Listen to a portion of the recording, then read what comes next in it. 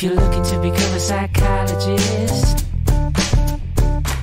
then let this be your guide. With this podcast at your side, you'll be on your way to being qualified. It's the Aspiring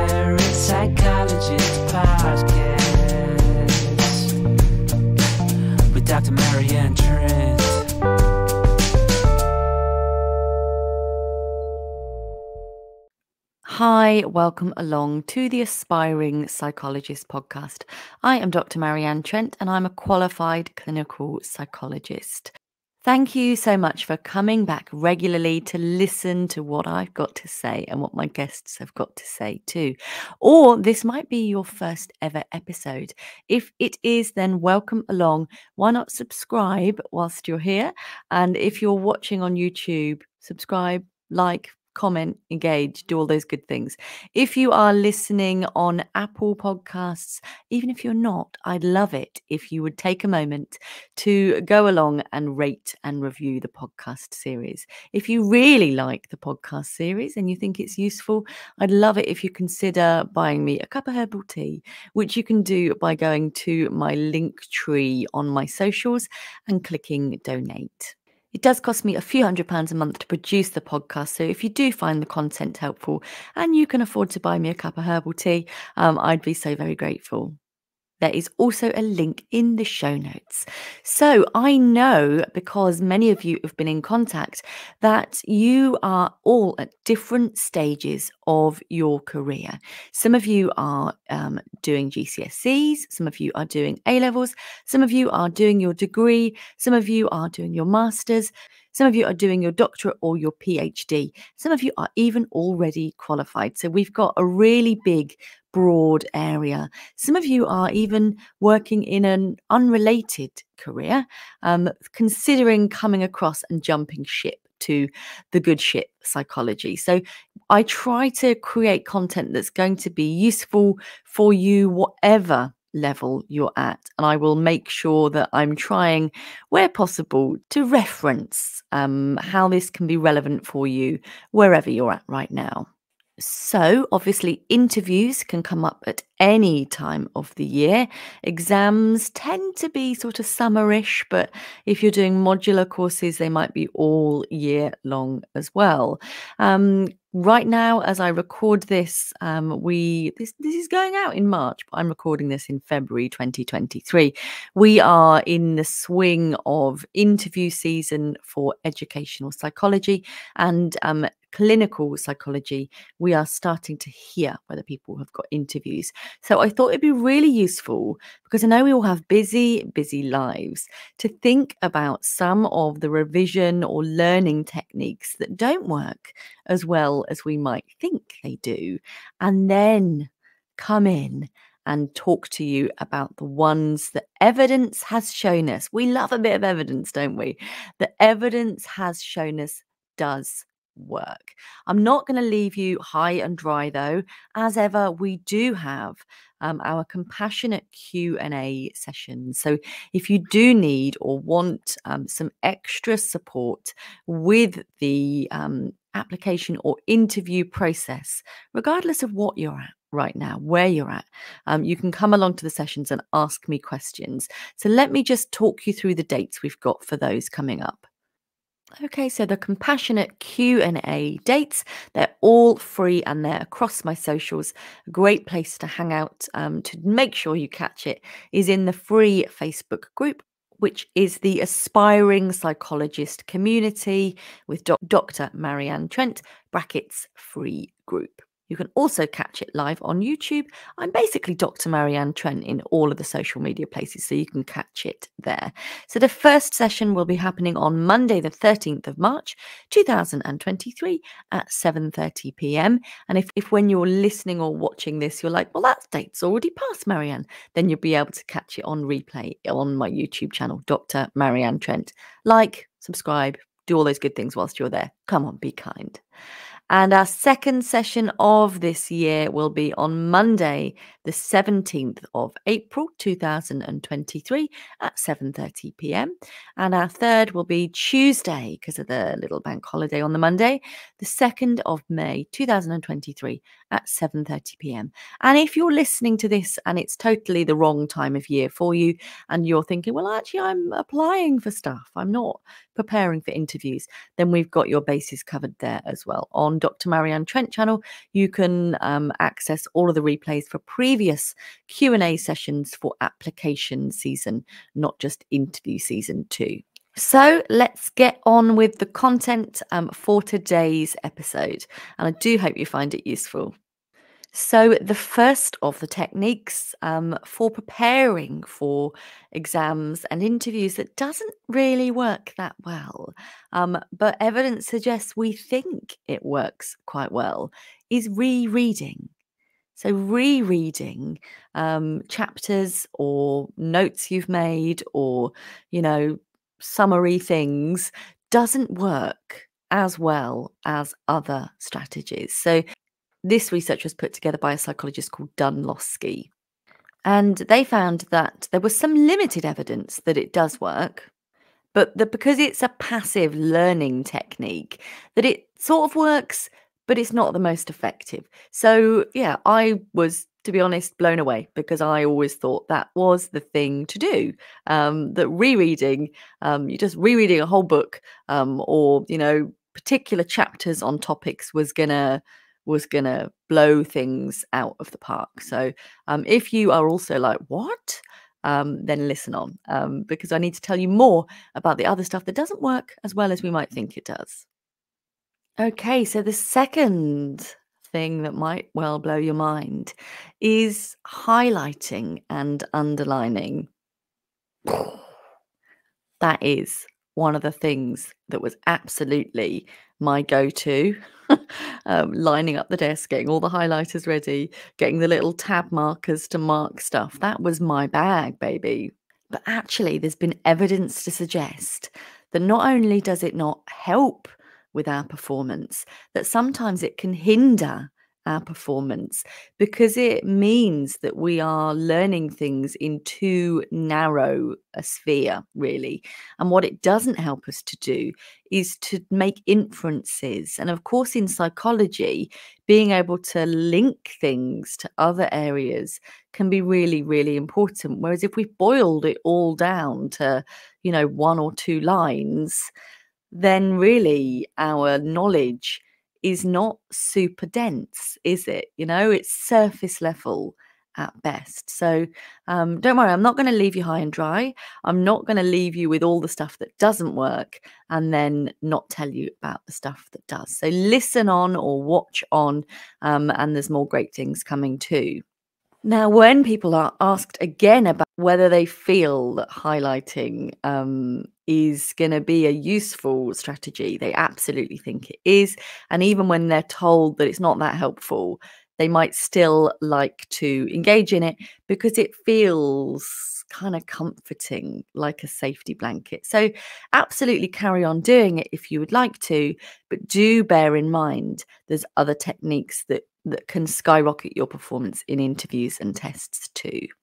Okay, so the third thing that isn't working as well as we think it might is summarizing or making notes. It's been found, again by Dunlosky, that it's got pretty low utility in helping us learn stuff, helping us remember stuff, helping us recall the stuff when we need to. And the theory is is we're not summarizing effectively or efficiently and we need to be either taught how to do that better or just give it a miss altogether because there's other strategies that do work better. It's not something that I was taught at school or uni. You might well have been and if you're using advanced skills in summarizing, you might be knocking it out the park, but many of us are winging it and just doing what we think is going to be best. So, yeah, if you do like these things, then do continue to use them, but maybe also use the other techniques that I'm going to be talking to you about too. If you are a passionate note taker, or you want to use modern ways to think about your preparing or testing yourself, I have been really loving the Remarkable tablet. It's a paper free tablet which really helps you organize yourself too. If you'd like a £40, I think it's £40 rather than $40 off um, code, then check out the link in the show notes or send me a DM. So let's take a little break here, and I will be back along to talk you through the strategies that are really going to help you get to be where you want to be, whether that's passing your exam, whether that is being able to, you know, do as well as you can in your interviews. Um, I will catch you on the other side of this.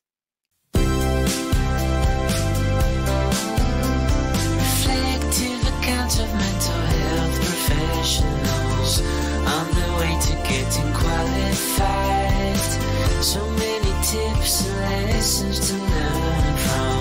So many things that you can try. The aspiring psychologist collective. The aspiring psychologist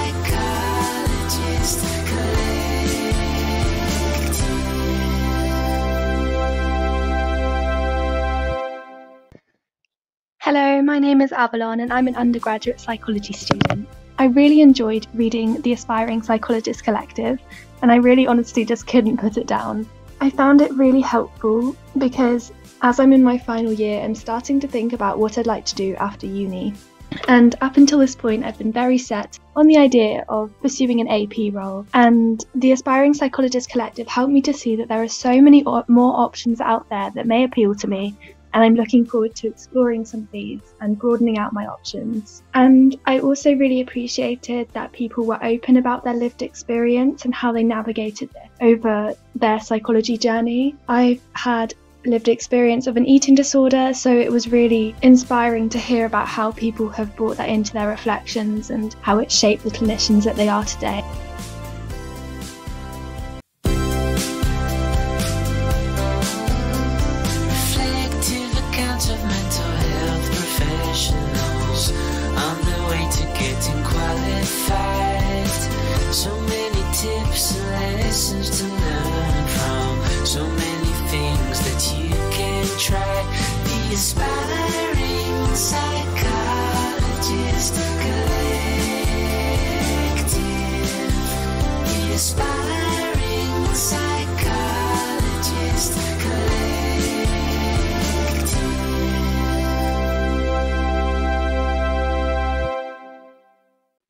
Okay, welcome back. So, in the first half, we were speaking about the techniques um, for revision or learning that actually don't serve us as well as we think they do.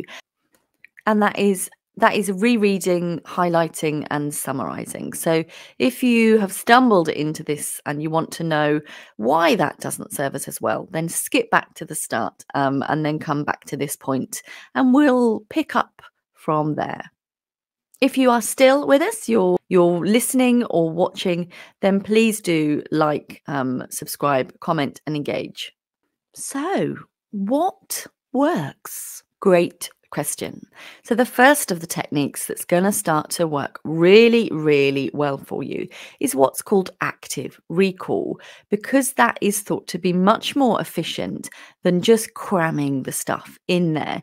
So, the theory is that when we're trying to get stuff out of our brain, it actually strengthens the neural pathways for us to be able to do so when we need to get it. So we need to be able to practice getting that stuff that we've learned out. Um, we might do that by using practice tests, by doing practice interviews and popping ourselves on the spot. Um, and we might be able to do past exam papers as well. And you might be like, well, seriously, how much of a difference can this make? And there's some evidence to suggest that it's 10 to 15% increase in performance just by having one practice test at the end of each study session that you do. And there's other evidence to suggest that doing that can boost your performance between 30 and 60%. Wow. Imagine that if whatever recent exam or interview situation you were in, your performance was boosted by 30 to 60%. And again, you might be like, no, that can't be as good as me rereading that chapter four times. That is totally the way to do it. Evidence suggests that people that used active learning during four study sessions performed better than people who just read a chapter four times. Interestingly, students actually did rate in research that they thought active recall was going to be the least effective strategy for helping them to improve their performance, but it was found to be one of the most effective strategies. So, what have you got to lose? Give it a whirl. Try out some active recall um, at the end of your study sessions and see how you go. So, I'm going to take you through some techniques to help you do active recall because you might be like, I don't really really know how to do that. So um, let me guide you through those.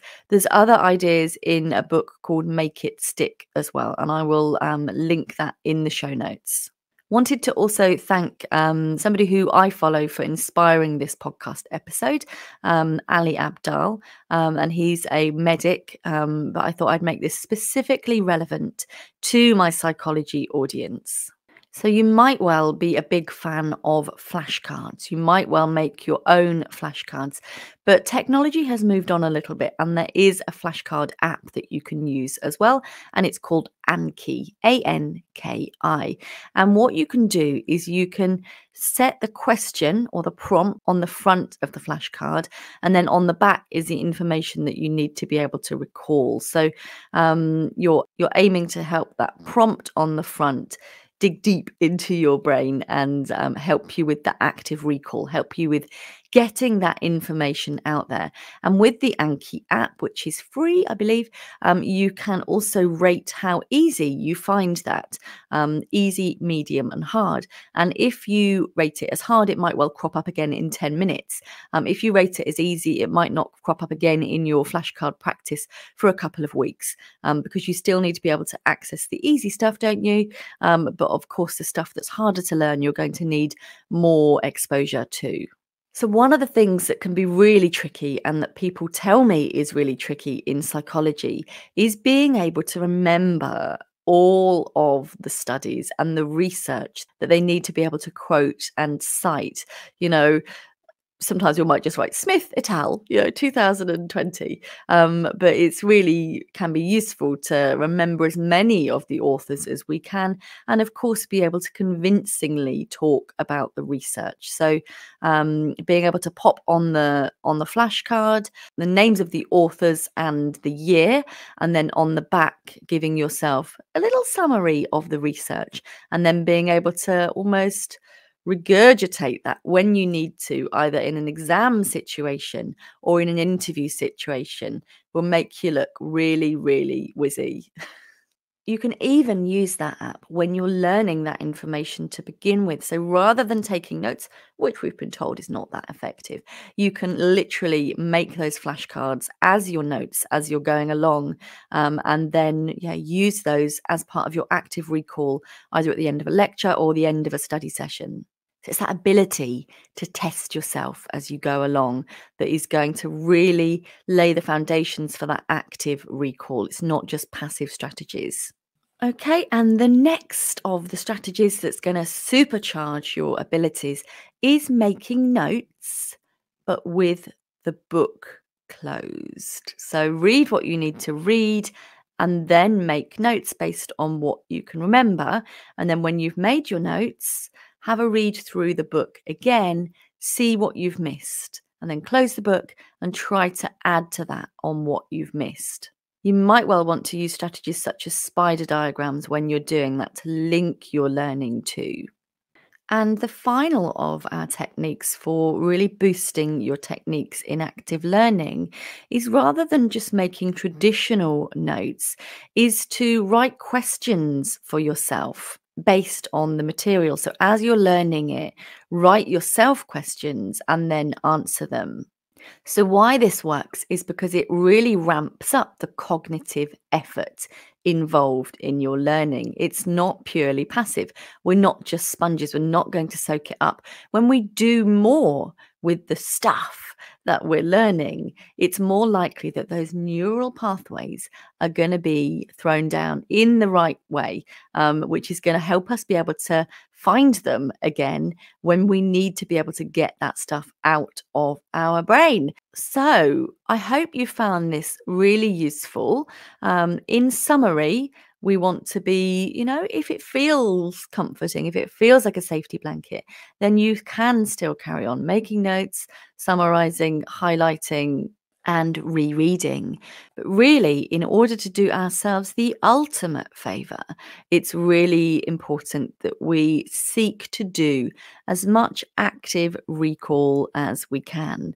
And ways I would do this is I'd probably um, over dinner, get my husband to ask me what I've learned today. That's another simple way that you could use.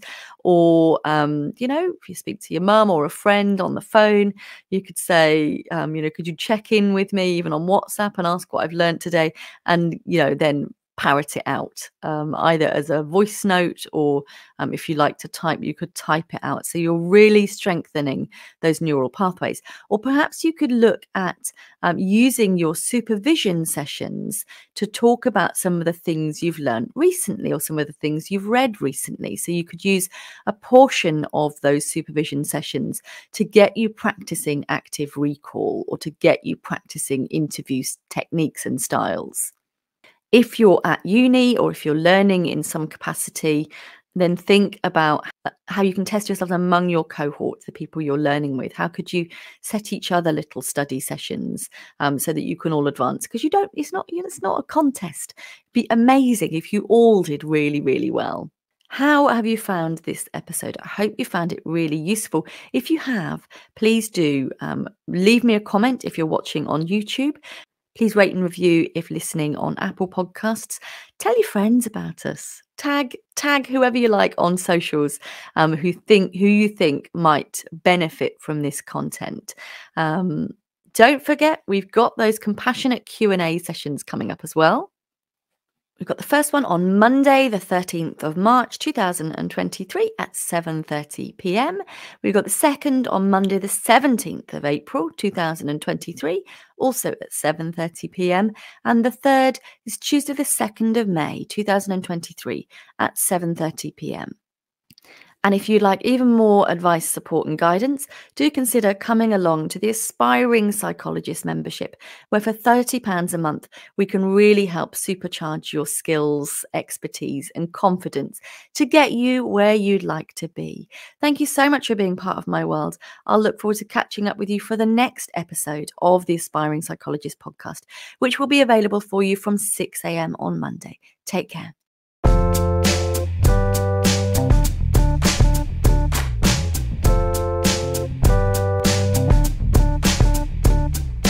If you're looking to become a psychologist, then let this be your guide. With this podcast at your side, you'll be on your way to being qualified. It's the Aspiring Psychologist Podcast with Dr. Marianne Trent.